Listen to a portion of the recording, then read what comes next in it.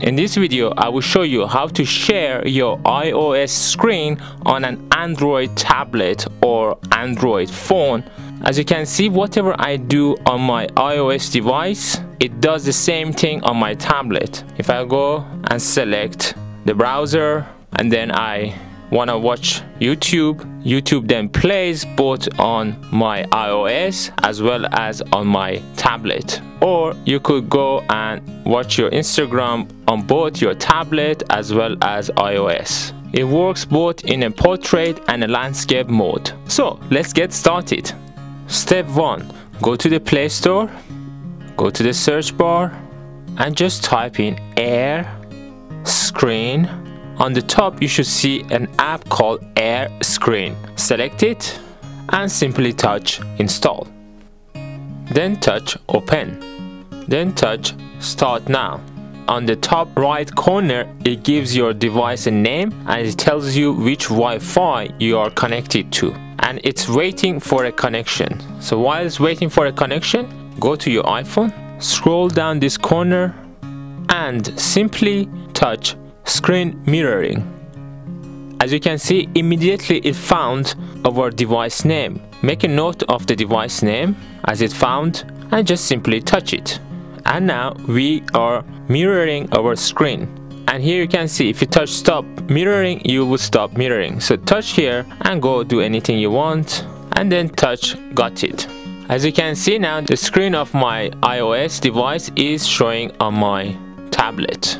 So to stop sharing, you need to scroll this part down again and simply touch stop sharing. Simply select screen mirroring and touch stop mirroring. And you can see it has stopped mirroring straight away.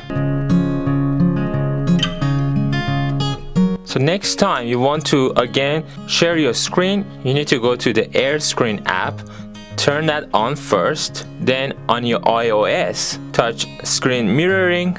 So this is still initializing. Wait for it to finish initializing. Then it says wait for a connection. Then it will appear on your iOS and then just select it and then touch here. And now we can see the iPhone on our tablet. So go and do whatever you want on your iPhone and it will show on your tablet. You also can record your screen but when you try to press the record button, it doesn't work. To make this work, first press back and then on the top left corner, touch this place and then touch recordings. And then you need to give access to your device's photos, media and files.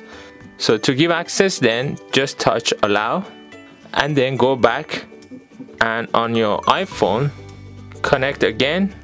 Now to start recording, touch on your tablet once and you should see the record icon and now select record and then it will give you a warning and says it will record whatever is displayed on your screen. Are you happy with that? Then you should say start now. Okay i'm happy. And bottom right corner you can see air screen is recording a record is blinking. So if i move go to my browser. So whatever i do on my iphone would be recorded on my tablet. So if I press again on the screen, you could pause and not record a particular part and then play again and now it would start recording again. If you touch again and now press the red button to stop, the recording would stop. You don't need to do that. The recording is stopped, but the screen is still sharing. You can also stop screen sharing from your tablet by pressing back on your tablet and it says thank you bye. And you can see on your iPhone it is still okay. Touch these three bars and then go to my recordings. You can see the file that we just recorded is saved in here. And we just opened it. You can watch the recording and, what, and whatever you want to do. I hope this video was useful.